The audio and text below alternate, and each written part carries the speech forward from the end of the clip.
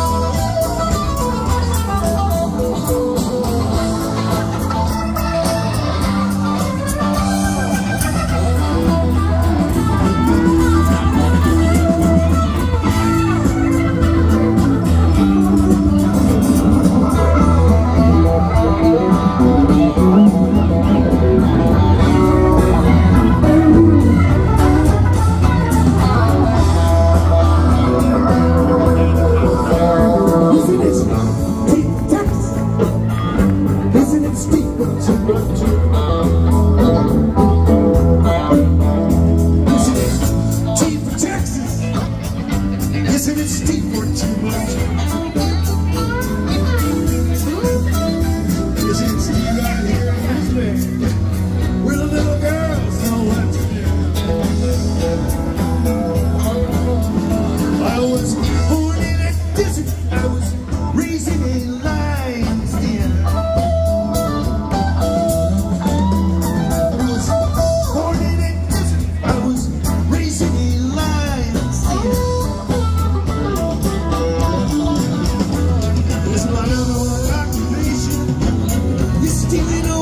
from his hand.